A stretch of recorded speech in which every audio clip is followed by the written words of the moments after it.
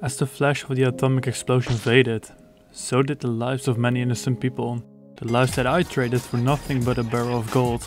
I was rich, but I knew that my newfound wealth would not be enough to pay for the cost of my soul, which I had lost along the way.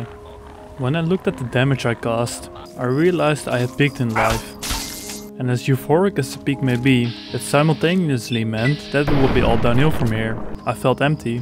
I tried to fill that void with women. Yeah? What is it? Do you want to go out sometime? No.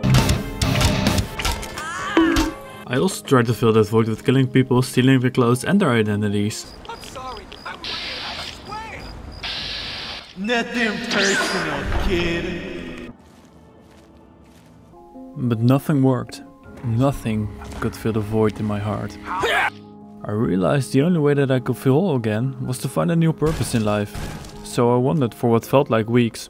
Until one day, I came across this place.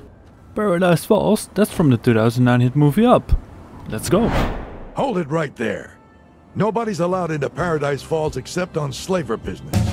And I get to decide what qualifies as slaver business. Do you know who you're dealing with? Now. There's no need to flex. Oh, and if you want, I have a mutually beneficial offer for you to think about. Intriguing. I got this mesmetron thing. Should make getting slaves easier. Shoot it at some poor schmuck. While he's in La La Land, you slip one of these collars over his head. Be careful with that collar. It'll explode if you tinker with it. Tell the slave to boot it over here pronto or his head'll pop. Here's a list of special targets Eulogy wants enslaved. Guys, I think I found my purpose again. Now you fucked up. Now you fucked up. After that horrible ordeal, we're finally closing in on the location of our first VIP. I'll see you when we get inside. The female is locked up. We'll take her back with Now try and We gotta be smart about this, so we're going to play some mines and lure them out.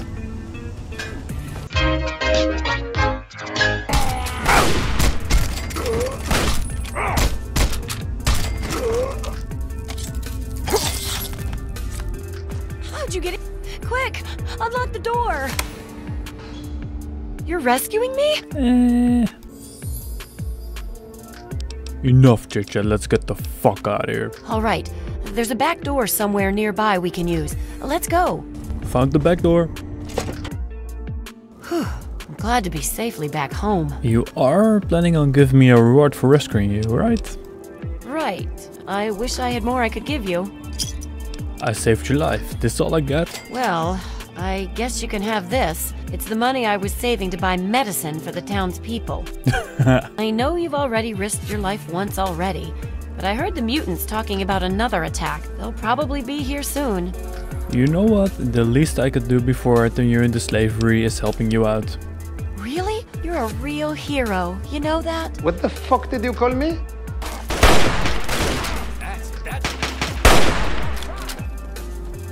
Did it! Yay. That's great and all, but I came here with a job to do. Mr. Stark, I don't feel so good. I have some friends who want to meet you. Here, put this collar on. Whoa. What is it? It's heavy. Oh, what friends are you talking about? Do I know them? Give my regards to the slavers in Paradise Falls. Move where your head goes, Boom. The slavers? Uh, I'm a slave? How did this happen? How could this happen to me? I made my mistakes. I guess I'm the doctor now.